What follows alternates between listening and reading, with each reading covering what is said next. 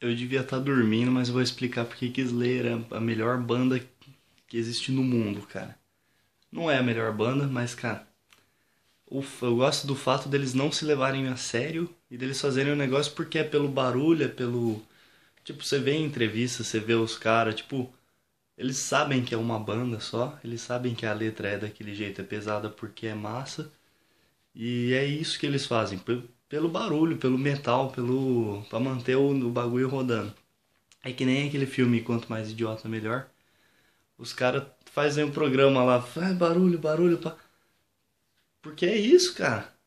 É que nem o Fenris do Darktrone. O cara tem o emprego dele de boa e depois ele vai lá, faz a sonzeira massa. Não o Darktrone antigo, o novo, que é o antigo que se foda.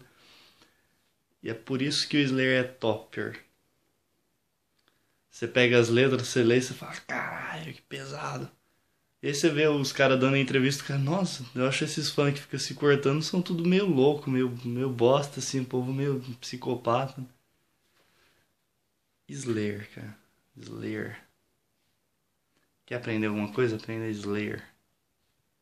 Slayer. Slayer, cara. Eu acho que é isso que tá faltando atualmente. Essas bandinhas, tipo. Essas bandas, tipo, Rammstein.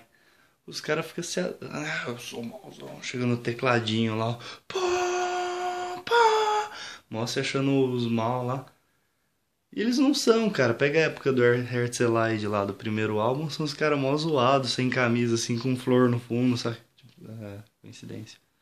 E é isso que o Slayer é legal, cara. É a. É a zoeira. Agora eu vou dormir, eu tô com sono, chega.